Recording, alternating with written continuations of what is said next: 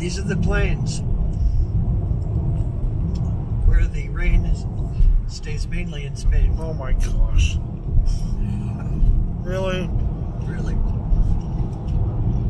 You've been making that joke since we got into Spain. It's true. But now I finally see the place. I will probably make the joke again. We are inside a windmill. You may hear the video behind me in Spanish. And this is in La Mancha. They advertise this as the route that Don Quixote took. Considering that he's a fictional character, I'd find that interesting, but nevertheless.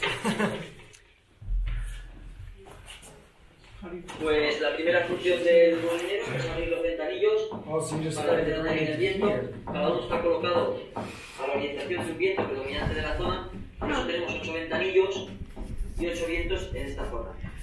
We're walking up to a castle built in the 1100s and built as a castle associated with Man of La Mancha. And if you look at the windmills out there,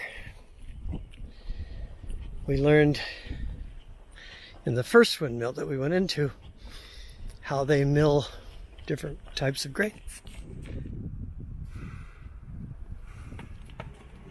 So we're going up into the entrance of the castle.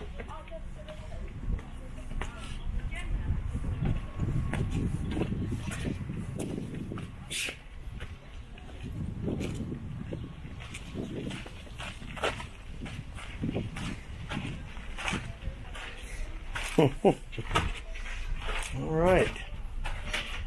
And we're in.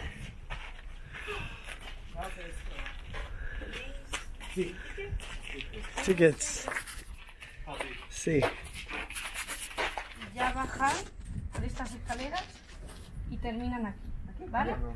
Cuando entren aquí a la ermita, al lado, según entran, hay escaleras de subida a la terraza. ¿Vale? Pueden ir a verlo. Si quieren otro,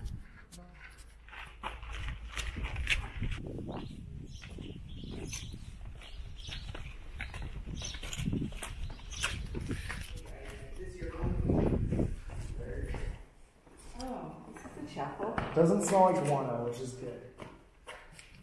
smelly things in here. It's nice and cool in here. This is the Naval Archives. Hmm. Oh yeah. Oh, there, okay, good. Okay, this is why English castles are so hideously cold.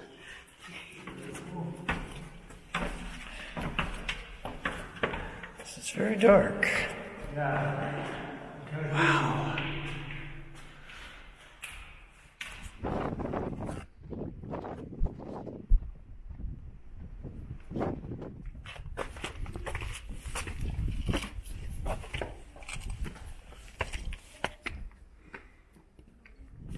Okay, now we're walking back.